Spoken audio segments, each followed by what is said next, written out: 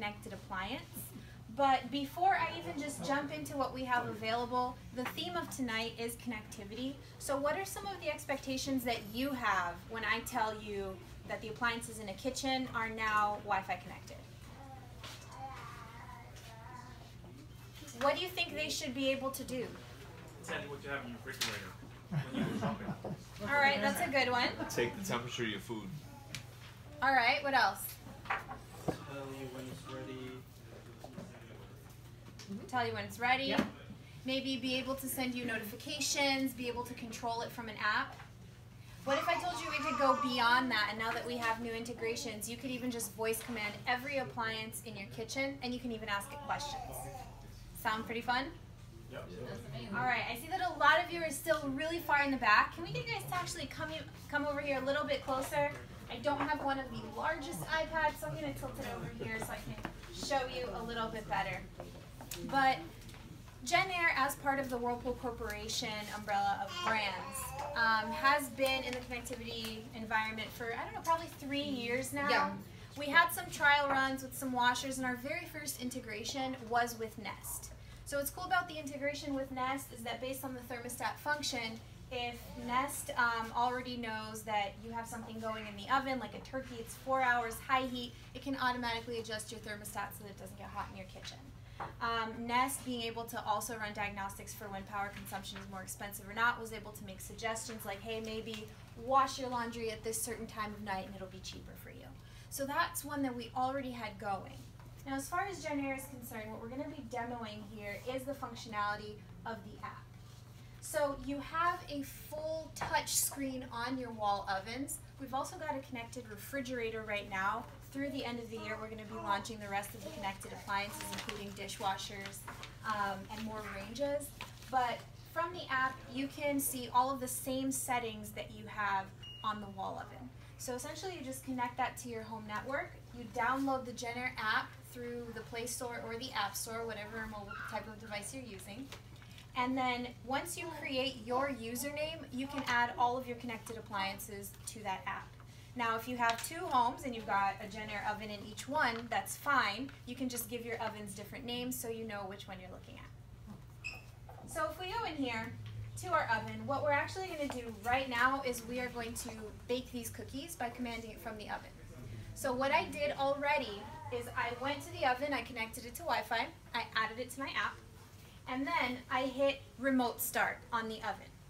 What remote start does is it gives me the ability to not only see all of the functions of my oven, which you can see all the time, but it gives me the ability to start and stop it remotely as well. I don't have to be on my on the same Wi-Fi network as the oven to start and stop it.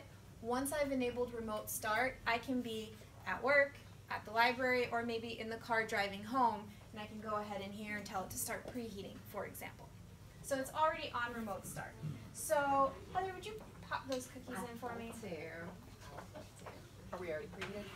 Um, no, we're gonna do it on a no Is it- preheat. It'll break the, the thing. Okay, so you'll, you'll actually see Heather. Now, what's going to happen here is she's going to manually interact with the oven, so she's going to open the door. And when you manually interact with it, it breaks remote start. That's for security purposes because if I'm cooking something from the app and someone in the home goes to interact with it, there can only really be one person cooking at a time. So go ahead. and go ahead and start it from the iPad and then I'll just put it in as soon as you hit start. Okay. Yeah, we'll do that so we don't have to go back in. So I'm going to go here in the app. I'm going to hit set oven. And then I'm going to scroll over to my no preheat. Now it does have a culinary center with a bunch of different options um, that you can choose from. But since I want to use the no preheat function, I'm going to set it to 350. I'm going to hit finish. And then I'm going to hit start. Now you'll notice over there, if you're looking at the oven, that it's going to go ahead and it's going to start. Now that it's started, we can open the door without canceling. And it'll continue. Pretty simple, right? Mm-hmm. So, while we're in here, a couple of other things that you can do is you can go into the culinary center. So I will show you that. Back, actually, while we're cooking, this is the screen that it's going to show us. So you'll, you'll have a progress bar, and that's where the little flame is. As it starts the cooking, the progress bar will complete. You'll be able to go into the Culinary Center from your mobile device, which has pictures and a full walkthrough of how to cook something. So if you were to pick cookies through the Culinary Center, it would show you a picture of the cookies, ask you what type of cooking bakeware you're using, um, if it's an insulated tray, a dark colored tray, or a lighter colored tray, because that depends, um, that's going to alter the temperature a little bit. And it'll even show you how to arrange the racks and which rack to put your cookies on so that the oven does a perfect job. You can also, through the app, go in and create recipes. I, for example, have a favorite recipe for lasagna where I bake it and then I broil it for a little bit so it gets crunchy on top. And then I leave it on a keep warm just in case I'm entertaining. That way, whenever we're ready to have dinner, I'll just grab the lasagna. So you can pre-program creations in here and give it an individual name. So I can put those three different steps in with a timer, name it Flora's Lasagna. That'll automatically get sent to my oven and I'll be able to start it from the app as well. That's me. So far so good? Yes. So these are kind of things that you would expect to be able to do, right? Save some recipes, pick from a cookbook, maneuver it from an iPad or a mobile device. It's kind of cool that you can even have access to it when you're not even in your home. But now we're able to integrate not only with Nest, but with Google Home and Amazon Alexa. So what's interesting about these integrations is that it's a full three-way sync. You can ask it to do things on your appliances for you once you have them integrated. On an oven, you can tell it to start a preheat. You can ask it for an update on how much time is left in a cooking process. You can tell it to stop. You can ask it questions about your appliances as well. You can say, for example, Google, what is the model and serial number of my Jenn-Air oven? And it'll be able to recall it for you. You can say, Alexa, what is the water filter I need for my Jenn-Air refrigerator? She can tell you that, and if you have it connected to a Prime account, she can order it for you too. As these integrations get more and more intelligent, the best part about having connected appliances is that the appliance that you purchase on day one doesn't become obsolete because we have the ability to continuously push updates to that technology just like the operating systems on your phone. So if in the future, um, somebody said something about cataloging ingredients. If in the future the cataloging of ingredients becomes a possibility so that you know what's in your refrigerator, we'll push an update to the appliance for that. If in the future um, Amazon Prime and ordering, I think it's called, what is it called, Pantry? Um, if that becomes something that we can integrate, we'll just update the refrigerator software and then just like that, as technology changes, we will be riding the curve as well. So ultimately, you can do pretty much anything with your connected appliances. Now, if you actually flip the handout that we have to the back, we have a few frequently asked questions that are on here, and some of them that I just wanted to highlight. Probably the biggest one, and a lot of consumers are going to ask this. I want one of these premium appliances. Um, I really like the touch screen on it. I like the culinary center, but I don't want to fully connect my home. In this group, that seems kind of wild to us because why wouldn't you want to? But if you don't want to connect your home, that's fine. All of the functions of the oven, culinary center, creating your favorites, you'll still have access to all of those. You just won't be able to do voice command and you won't be able to remotely start it from a mobile device. So at the end of the day, these are still appliances. You can still interact with them completely manually, but there's a universe of possibilities that the Internet of Things gives us. Now, um, how many of you actually use a mobile device or look up a recipe before you start cooking? You do? I almost always, this iPad, Heather saw me, I, I doused it in Lysol before we started because there's usually a little bit of flour in my home button left over. This is always in the kitchen with me. So being that you have a library of preset recipes and you can save some favorites, that doesn't account for all of the cooking that we do. A lot of us go to the internet first, pick a recipe, and then cook it. As of right now, you can't just go to the internet and pick a recipe and sync it to your device. But what Whirlpool Corporation has done is we purchased an app called Yummly. Has anybody heard of it? Okay. Yummly is an online database of tens of thousands of user uploaded recipes so as soon as this integration is complete and we push that operating system update to the wall ovens, you'll be able to download the Yummly app, enter your Jenn-Air um, appliance information, and then you can pick from any one of the recipes that are there. Once you pick it, it syncs to your wall oven, and then the perfect cooking instructions for the recipe you've selected you can use on your oven as well. So you don't even have to download, it's as simple as a sync. As simple as a sync. Yep. Mm-hmm.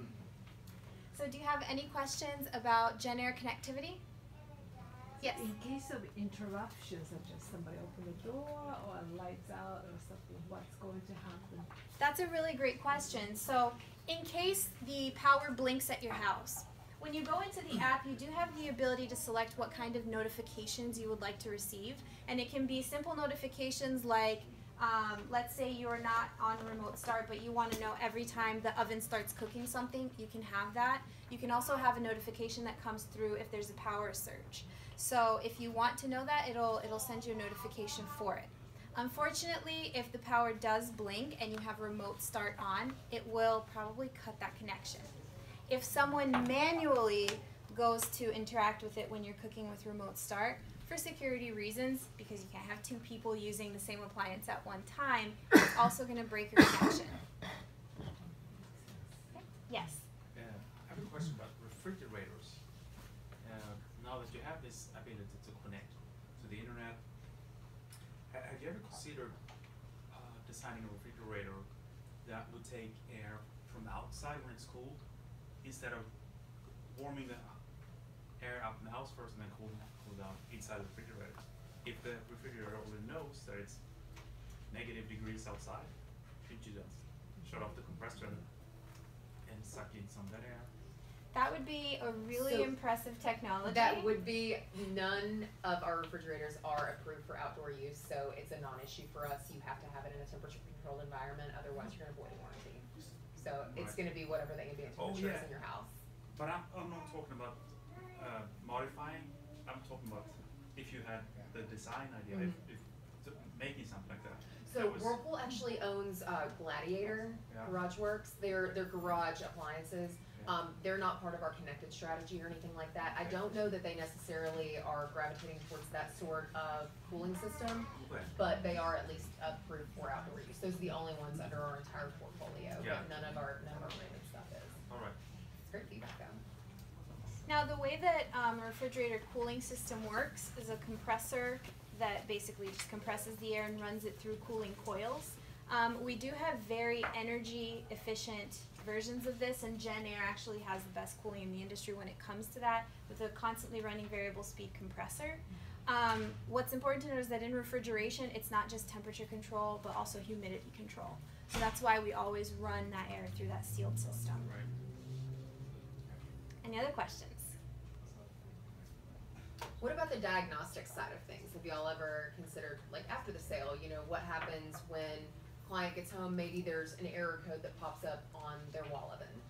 It's not always the wall oven, it could be an opportunity to troubleshoot with our customer care team. So one of the key differences between, um, Jenn-Air and some of the other manufacturers that are out there, we have a dedicated one eight hundred Jenn-Air team that only works on Jenn-Air stuff. So you're not calling someone that was just troubleshooting another brand's dishwasher or anything like that. We have a, a very highly trained, dedicated care team.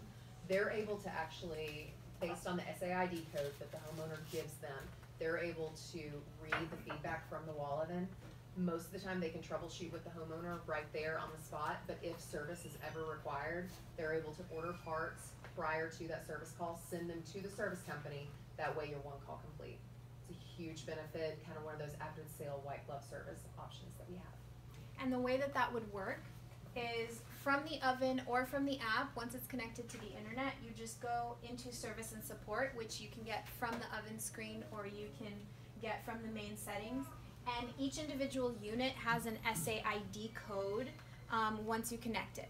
So essentially, you would just call 1 800 Jenn-Air. It's just 1 800 Jenn-Air, super easy. And you would provide the agent on the phone with that SAID code that would give them access to do the remote diagnostic.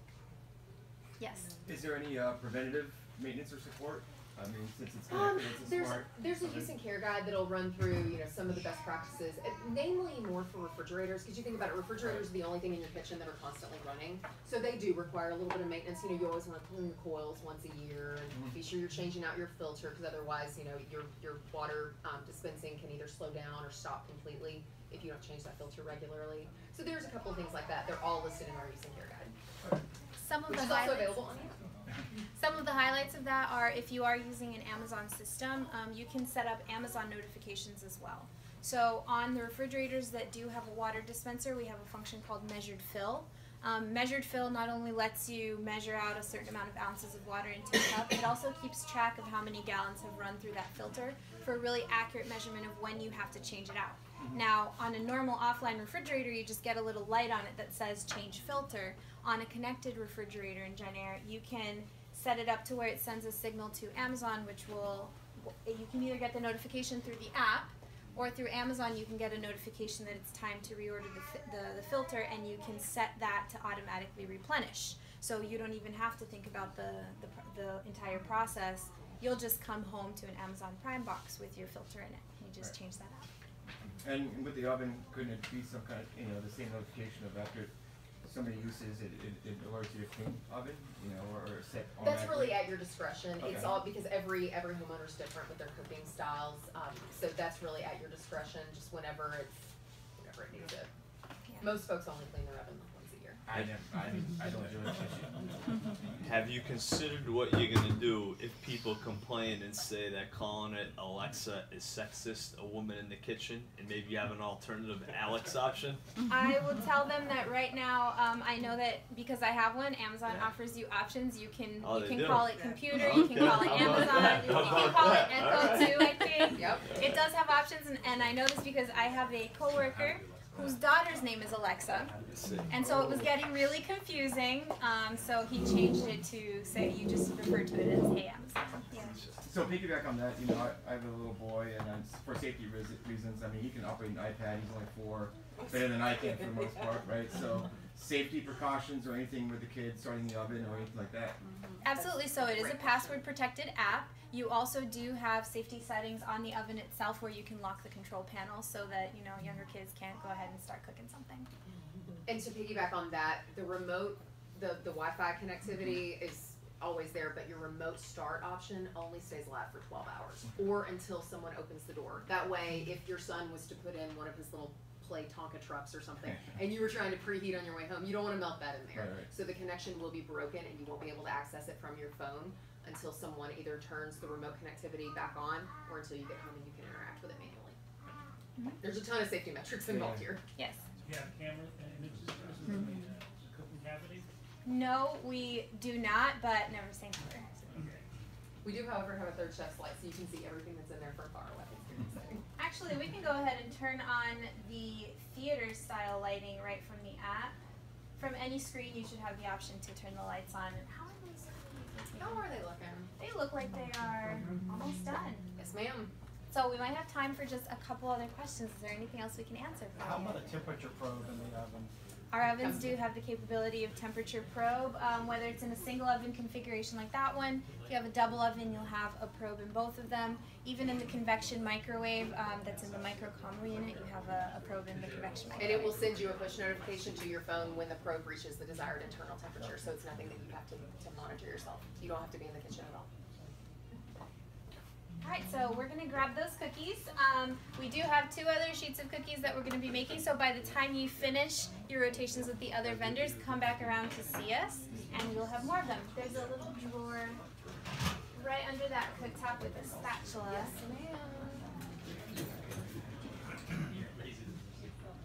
All right, so um, with that, also in the, in the little handout that we gave you, there is a short survey. So if you feel that you would like more information, feel free to leave your contact info and we will um, we'll get your questions answered. But overall, we'd just like to know, since this is the first time we're doing a connectivity-specific training, we would like to know how you feel about the event.